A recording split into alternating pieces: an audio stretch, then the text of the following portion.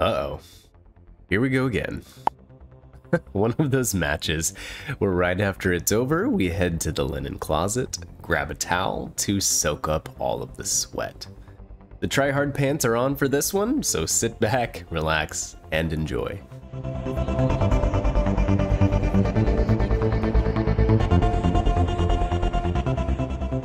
Well, today's game was one where blue team left me with nothing else to do but get sweaty. Sometimes being a tryhard isn't enough though, you need a good blend of red team potatoes, and there was some of that that we'll showcase later. Uh, Scharnhorst has been in the game for a while. She brings a pretty unique and fun gameplay style into Legends. Some people who have struggled with her I kind of explain her as a big cruiser. Not a typical battleship that you want to tank a lot of damage, but we'll talk more about her playstyle later. As far as premiums go, if you get her gameplay style down, she could be one of the most fun and best tier 6 premium battleships. Before we go any farther, our setup. Aiming systems, steering gears, and target acquisition. I'll give you two commander setups, the first one paid, the second one free. The one that we are using and the paid one is Azur Lane Scharnhorst, and we have Cunningham and Jajard on here. The free setup, you would probably want to use Ciliax, and you could, again, use Cunningham to help with the dispersion a little bit. Di Revel, Jajard, um, you know, inspirations like that. Jajard could help these small AP shells in their penetration a little bit, and then Di Revel for the um, reload. You don't necessarily have to run Brawler, but I usually do on this ship just because the dispersion is not great. So I don't want to be uh, shooting from longer ranges. I want to be in close. So the extra range, you know, I don't really need it. Plus Brawler, and if you're using Di Revel, they kind of bring the reload down so you can take a quantity over quality approach because the accuracy will troll you. So we are on trap. Domination. And what in the world am I doing? I'm sailing right into B cap. yes, yes. Well, hear me out on a couple points here. One is a concept that I like to do with Hipper, York, Prinz Eugen, Mines, and other torpedo cruisers, and that is to get kind of into a forward position, protected by islands, and dare anyone to come try and root you out. If done correctly, you can be a real pain in red team's keister. Anyone who dares to push you could face the wrath of your torpedoes, so you deny part of the map to the enemies, you can set up crossfires, capture objectives, yada yada yada. And since Scharnhorst has torpedoes, here we are. So we're going to come in here, try to get the cap, and hide behind this island, and just be a general pain in the butt.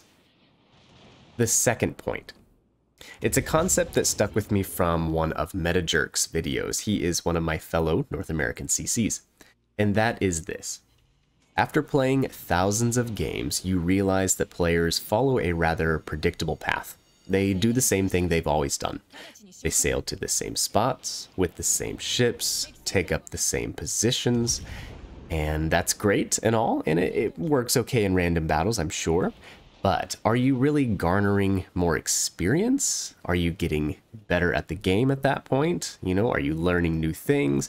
Or are you just kind of going through the motions?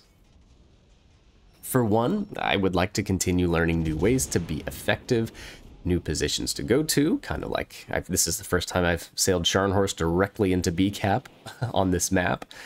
Um, you know, sometimes it ends with you exploding in a rather spectacular fashion, but that's fine. I know in, in most cases when I get sunk, it's a good learning experience, and uh, yeah, I garner a lot of information from that.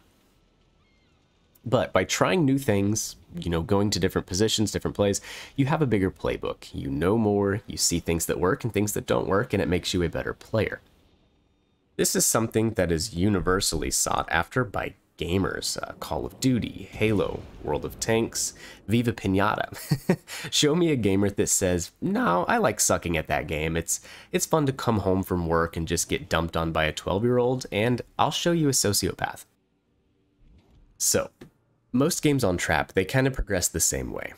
Generally, the north team will sail straight ahead and overload A and B, because that's the way their ships are facing, and south team will sail straight ahead and overload B and C. Aside from the destroyer threat, of which there are two, a Gata and a Hatsuharu, I believe, I feel pretty confident going in here into B and just trying to do what I'm doing here and shoot these ships that are overloading C. Now the Gata. I mentioned some potato action and I do not want to pick on this player, but this torp launch by him was really unfortunate. He had me dead to rights. And uh, for my part of this, I should have already switched to HE. I didn't. I kept AP loaded, so I should have switched. But with his torpedoes gone, I really have all the time in the world to kill this guy. So Scharnhorst, she is pretty good in a brawl.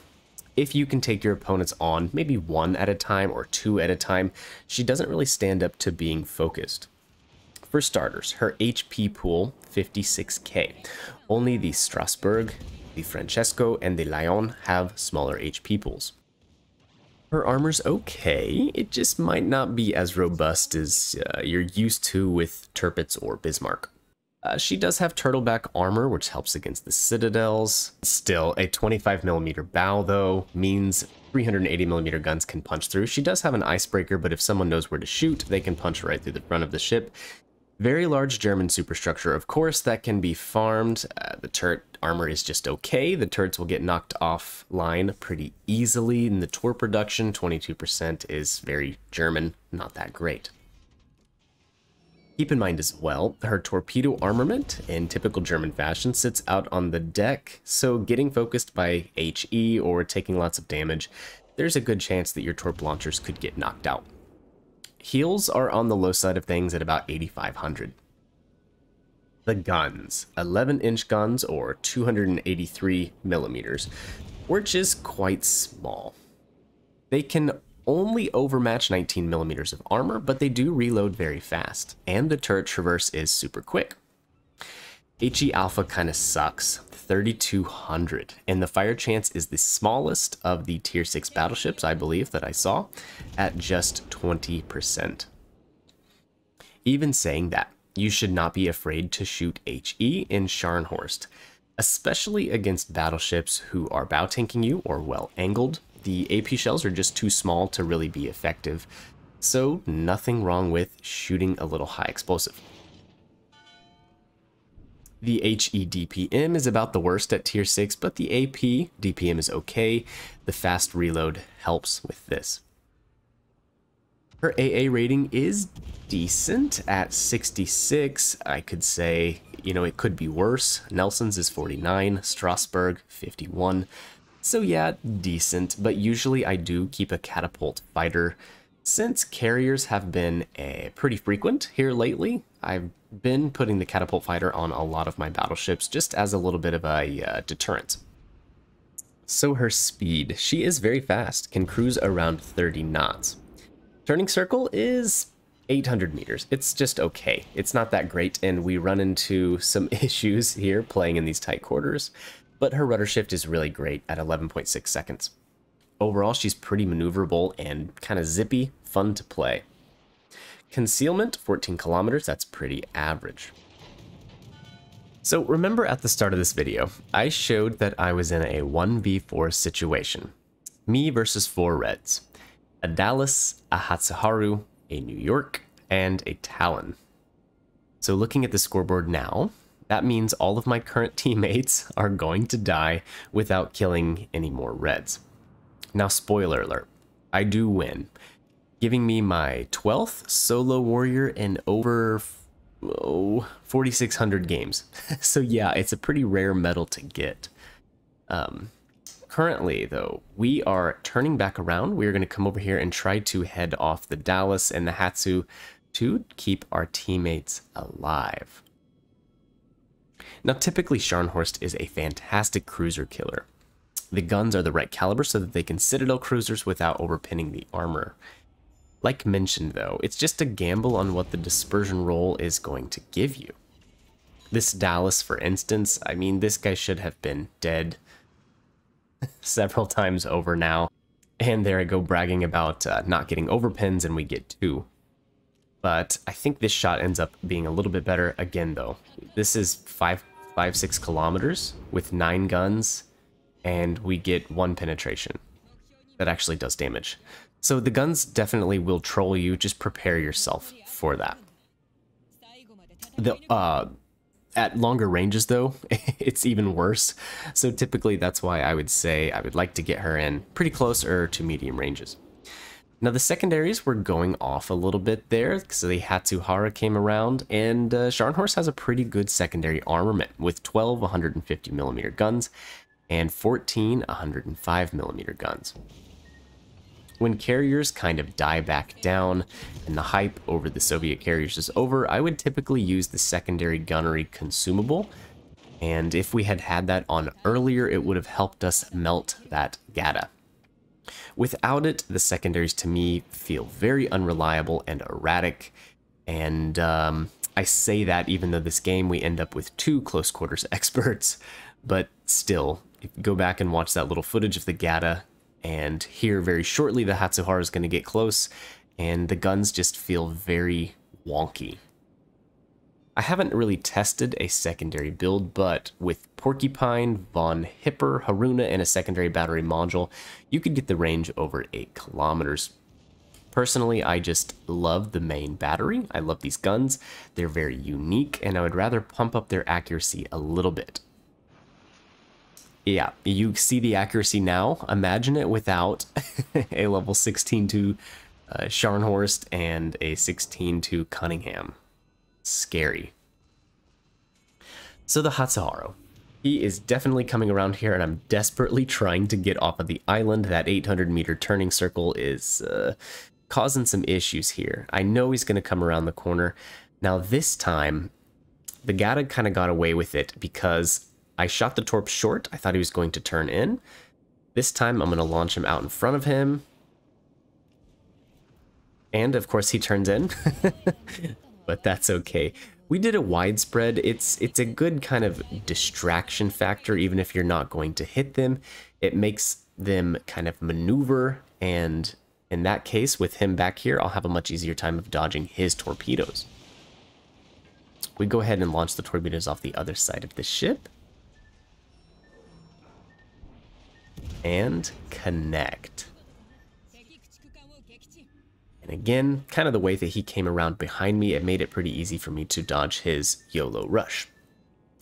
So, it is me versus the Dallas, New York, and Talon. We have the points lead and the caps lead, so we really all we need to do is survive. I don't have to hunt and kill these guys. Although the Dallas is pretty much on life support, if I could just get him to pop back out, that would be great. One thing is absolutely for sure though, and that is that the New York has got to go. And then I can flip this cap and pretty much seal this game's fate. The last little tidbit of information I wanted to point out about Scharnhorst are the torpedoes. Lots of players in these German battleships with torpedoes, the Gneisenau, Scharny, Tirpitz, and others, they just feel like they have to get in close and use the torpedoes, and that's their only goal in life. And that's a surefire way to get sunk. Running headlong into a brawl, especially early in the match, is, is a good way to lose. I would think just, or I would say, I would suggest, play your normal battleship role you know, focus on staying alive and things like that. And then if you get in a situation where you need the torpedoes, then there you go. Overall, Scharnhorst is a very, very fun ship to play when you get the hang of her. So the Dallas did poke back out, and we sent six shells his way, and he lived. So that would probably be my last opportunity to get any more kills and to get the Kraken. I know the Talon is down out here in the open water somewhere, so I'm probably not going to get the chance to sink him. With his armor uh, being a heavy cruiser, Scharnhorst struggles against angled heavy cruisers as well, so I wouldn't get a devastating shot to take him out of the match. But regardless, We got the solo warrior because there's no way these guys can kill me now. We'll wait to see the scoreboard at the end, but I believe it was about 3200 base XP, which is pretty good for a battleship. Not the most damage, but overall a very, very fun match. I really enjoy this ship. If you guys could do me a huge favor, smash the thumbs up button if you enjoyed the video. I would greatly appreciate it. Uh, let me know what you guys think of Scharnhorst down below. Do you think she's a little power crept or still as good as ever? And with that, I'll catch you guys in the next one. See ya.